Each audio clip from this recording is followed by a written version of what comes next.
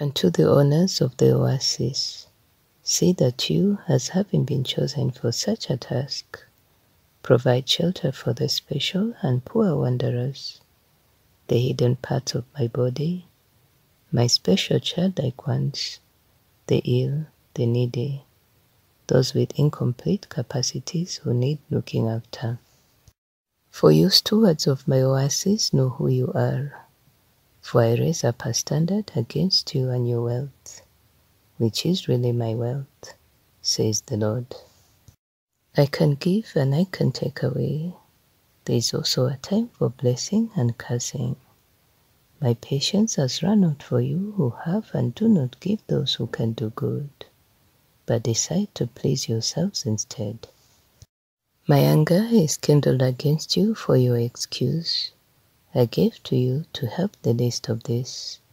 Instead, you have created temples to yourselves in which to worship me, and also temples to live in, where you worship your own abilities and actions and boast.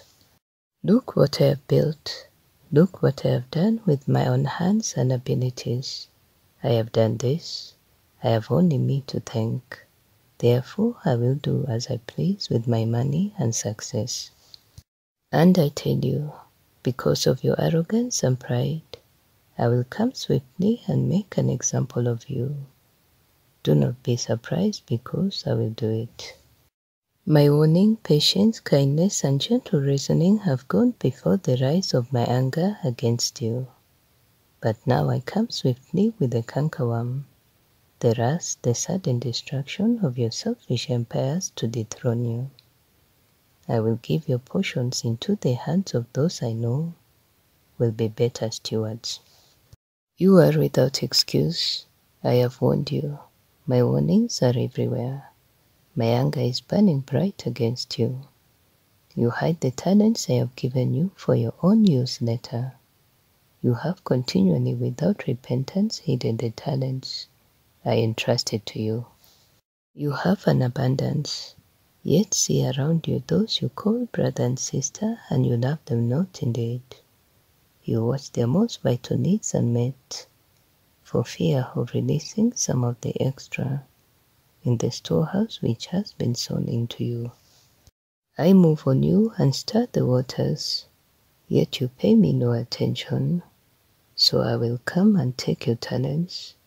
This is my final warning. I discipline those I love I chastise all who I call a son or daughter. Remember all of my words and repent. You seek me out. I cannot always spoon feed you. Talk to me.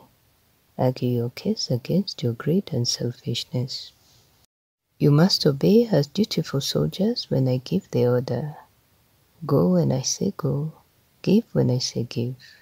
My supplies are not limited but as you are, O simple minded man, just a man. This is the faith that shall please me, and I will move on your behalf. These are the costs for you to count, for heavy rewards come with heavy prizes for your mortal lives to pay.